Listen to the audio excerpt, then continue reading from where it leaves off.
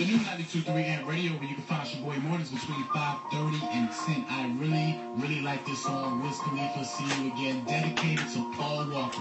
New music on the radio now. It's been a long day without you, my friend.